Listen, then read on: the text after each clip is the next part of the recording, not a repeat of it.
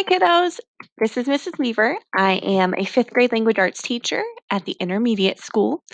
If you haven't seen me around, um, I'm pretty hidden in a corner. So I'm going to read with you today chapter one of Washed Up. If you are receiving this, then you guys need to make sure you are following along. We have a neat way we're going to do that. We're going to have the words up on the screen so you can follow along with us as we read it to you. You also should have your Cornell notes at the top of it for our essential question today. We are going to be focusing on how do readers identify relationships and interactions in text, and how do writers develop a topic.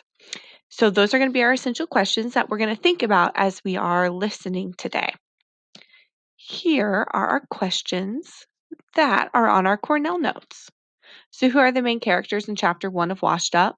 What is the similarity for these families? Number two, what is the setting and why are the characters there? Provide text evidence. Number three, how might the Walpole family not be prepared for the survival contest? Provide text evidence. And then number four, what is the main challenge that has been revealed so far in the story? So as we're reading, make sure, as I'm reading, make sure you're following along and answering your Cornell Note questions. You can pause this, you can rewind it, you can rewatch it, whatever you need to do to help you get these questions answered. So let's go ahead. We're going to jump into chapter one. Chapter one Washed Up. Written by Payal Kapadia and illustrated by Robin Boyden.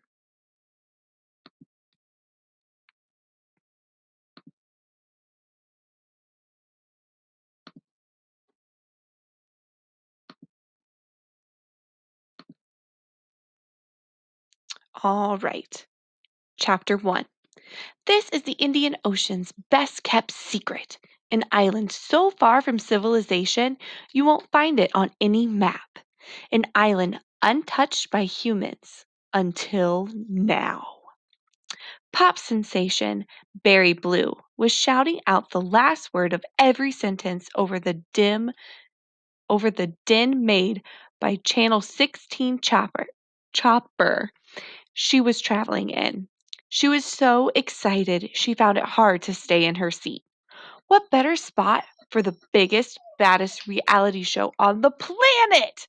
Welcome to Washed Up. What Barry Blue said next was drowned out by the wind. Did you get a picture with her? Shin's mother asked, leaning forward in her seat. She looks famous. Shin Lu bit down hard on her tongue. It wouldn't be appropriate to give her mother attitude, but she was clamoring for a picture without even the faintest idea who Barry Blue was. And everyone knew who Barry Blue was. She's a little glamorous for the middle of nowhere, isn't she? commented Shin's twin sister Mai. She's not setting foot on the island, silly, said Shin, directing her irritation at her. She's the anchor of the program. Shh, listen. Thousands of families vied for a chance to be part of Washed Up, the planet's most talked about survival series, Barry Blue was now saying. And of all those applicants, three families showed they had what it takes. I have the first contestant, the lovely Luz, here with me now. Smile, hissed Miss Lu as the camera trained on the family and she posed in a practically in a practiced way. The other two families, the Walpoles and Garcias, are traveling by boat to the other side of the island, continued Barry Blue. She had the attention of the cameras again before they zoomed in on the sleek speedboat slicing through the unending turquoise waters far below. Three unknown environments await these family, and three survival kits one with a mosquito net, others with a length of rope. Then there are tarps, matches, and knives for everyone. For three weeks, our contestants must rely on themselves and no one else. The winners get a book deal, a round the world book tour, and a generous cash prize. But, of course, to win, they'll need your votes, and they'll need to make it out alive. And they will. Right? She winked at the camera. So here it is, the island. Isn't it gorgeous? The island rose up before their eyes, an emerald green sea monster. There was a golden strip of sandy beach, a mountain wrenched in mist, and a lush jungle. Shin and Mai gasped. This island is the ultimate survival challenge for our contestants, said Barry Blue, batting her eyelashes as the helicopter dipped low. Adapt, win votes, and win the contest. Don't, and who knows what might happen. Like she knows anything about survival, muttered Shin. But Mai silenced him with a look. The cameras were on them now as they aligned on the wind whipped mountain slope, while Barry Blue waved goodbye wildly. Bye! You better watch what you say, whispered Mai, as both children took to the flying cameras orbiting the ocean, because we're on TV from now until we leave. Well, I was only about to say that down there it looks like a tropical paradise, cried Shin, his eyes dazzled by the sweep of the ocean far below the mountains, the sun glitting off the waves. Down below, fresh off the speedboat, Mr. Walpole was about to say the same thing, but his wife beat him to it. Sun, sand, sea, she exclaimed. There's nothing like the simple pleasures in life. Oliver rolled his eyes. His parents vacationed at fancy hotels that had room service, not only for dining, but also for treatments. Pillows and towels. What did they know about simple? The speedboat turned away with the Garcias still on board, bound for the coastal mangroves. The Garcias watched the Walpoles, hot footing the silver thin strip of sand, searing in the midday sun, towards the cool shade of the rainforest. Then their boat rounded a bend, and they were all alone.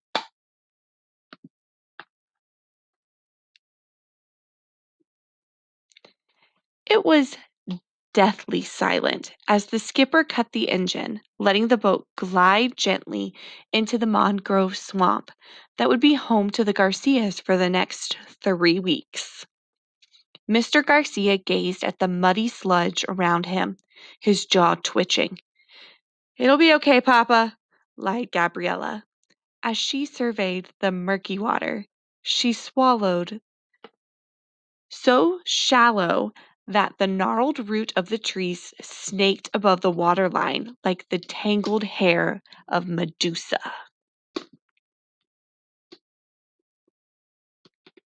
It couldn't be easy for Mr. Garcia. He had never been the adventurous type. He was happy working the same job for 20 years, living in the same house, and doing a pretty good job of raising his daughter on his own. That is, until the company he worked for suddenly shut down and he lost his job. Then a new reality series called Washed Up asked for volunteers, and Gabriella's father did the unthinkable. Unthinkable. He applied. The tide will come in soon, said Gabriella, squinting at the solid wall of roots stretching out in front of them. So we'd better find higher ground. Meanwhile, the Lus were doing some climbing of their own. The chopper had dropped them off next to a steep mountain slope. Shin and Mai were as nimble as mountain goats, but Mr. and Mrs. Lu kept stopping to wave at the cameras and to catch their breath. Mai shivered. The wind was vicious above the tree line. Far above them loomed the snow covered volcano. Right now, it was hard to imagine that this was once the site of a powerful eruption spewing red hot lava for miles around. There's not enough wood here to build both a shelter, a fire and a shelter, said Shin. The Lu siblings had seen enough survival shows to know that they would need both soon. Mai glanced up. The sun would go down over the mountain in a few hours. We'll head downhill first thing tomorrow to where the tree cover thickens, she said. That's fine, said Mr. Lu. Now blow a kiss to the camera. And here you can see the family climbing the mountain, and these are the little cameras that they have. Closer to sea level, Oliver Walpole hurried hurried his mother past the scorpion scuttling across the forest floor. His mother's island euphoria would give way to utter panic if she saw any of these nasties. It's marvelous, isn't it? she exclaimed, oblivious. Suffocation would have been a better word to describe it, Oliver thought. It was hotter than one of the beaches, even though only a shink of greenish light pierced the forest canopy. Here, let me wash that, Mrs. Walpole screeched, and before Oliver could stop her, Mr. Mrs. Walpole had spilled half their thermos of water on the small fruit he had just picked up. You shouldn't have done that, Mom, he protested a little loudly. His heart sank. Their water, ration, water rations were down to half already. Many miles away, Barry Blue, in an animal print dress now, was speaking to the cameras again. Don't they look like they're having so much fun? she purred. Things always start out that way. And then a sharp glint came to her eyes as she said, But their rations will soon run out, and daylight too. And then darkness, hunger, and thirst will set in. Here she tittered. And that's when the real fun begins, dear viewers. It only gets better or worse. That is our end of our chapter today, but there's an interactive feature, so let's see what it does.